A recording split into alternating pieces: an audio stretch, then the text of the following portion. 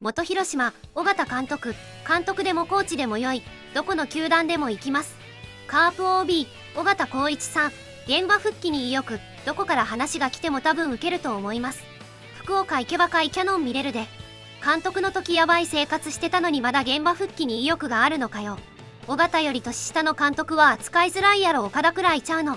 パワハラクソ野郎なんかどこもお断りやろ。野間が引退解析するまでは広島にも戻れんし積みやこんな熱い野球人を間違い児扱いしてた掲示板であるらしい。分3連覇監督をコーチでは呼びづらいな。徴兵制度がある系利用なら義理鉄拳許されそう。尾形を下につけたいだけの器持ってる監督は今は良くも悪くもおらんやろ。監督とかしんどすぎてもう二度とやらんわ。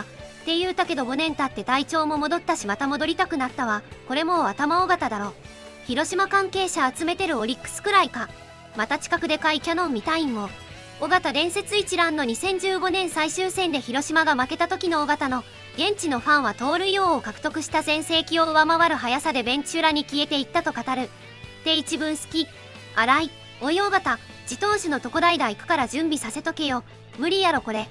3連覇したのにあっさり切られたのはパワハラのせいな指導力あるわけちゃうから厳しいやろな。尾形のおかげで伸びたセンスとか聞いたことがない。